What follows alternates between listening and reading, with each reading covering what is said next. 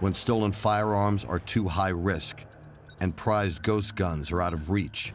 Some criminals head across state lines to Arizona.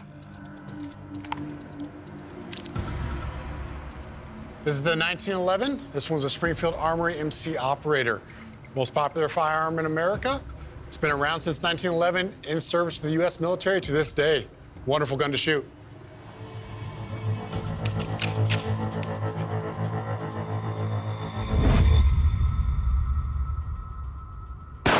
Shooter's World is a gun store with one of the largest firing ranges in Arizona.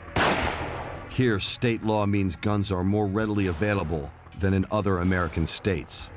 Arizona is considered one of the more liberal states when it comes to gun laws. You can own pretty much everything that's available to the civilian market. This is the AR-15. It's running a holographic sight on top. Makes aiming a little bit easier, a little bit faster to actually get on your target.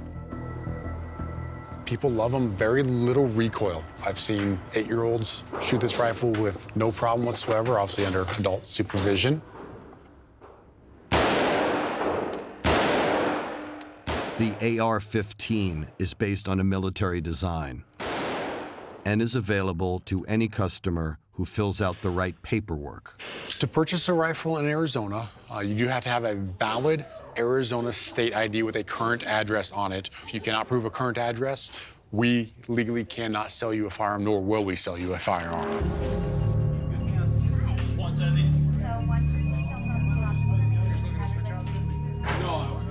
But criminals still target stores like these for legitimate guns.